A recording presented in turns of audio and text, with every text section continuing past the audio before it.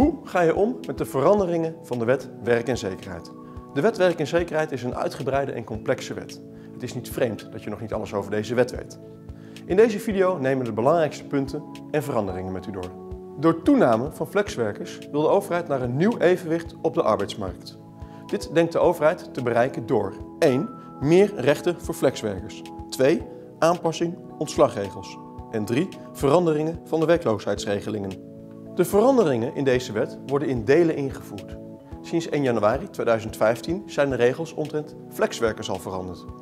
Flexwerkers zijn alle medewerkers zonder vast dienstverband. Zo is er een aanzegtermijn ingevoerd en bij niet tijdige naleving hiervan ben je een boete verschuldigd aan de werknemer.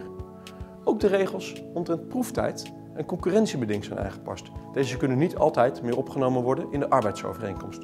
Wees daarop dus bedacht. Later dit jaar veranderen er nog meer regels in deze wet. De belangrijkste wijzigingen zijn... De reeks arbeidscontracten is veranderd. Geen drie contracten in drie jaar meer, maar in twee jaar. Bedenktermijn bij beëindiging overeenkomst. Geen vrije keuze meer in een procedure bij UWV of de rechter. En de invoering van de transitievergoeding. Ook verandert vanaf 1 januari 2016 de regel rondom de WW. Laat je goed voorlichten door in retail en voorkom zo een hoop boetes en problemen. Kijk voor meer informatie op www.inretail.nl of mail naar info.inretail.nl.